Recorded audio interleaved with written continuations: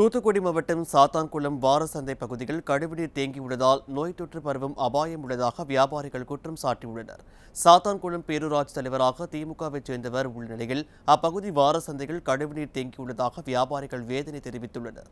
இந்த வாரசந்தையில் உள்ள கழிப்பிடம் முழுமையாக பழுதடைந்து பயன்பாட்டு இன்றி உள்ளதாகவும் இங்குள்ள கட்டிடங்கள் அனைத்தும் எப்போது வேண்டுமானாலும் இழுந்துவிடும் நிலையில் உள்ளதாக குற்றம் சாட்டியுள்ளனர்.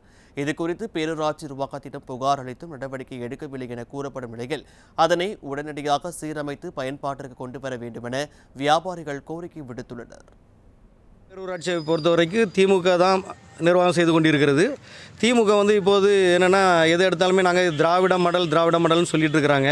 ஒருவேளை இவ்வளோ கேவலமாக நிர்வாகம் பண்ணுறது தான் திராவிட மடலான்ட்டு எங்களுக்கு தெரியல.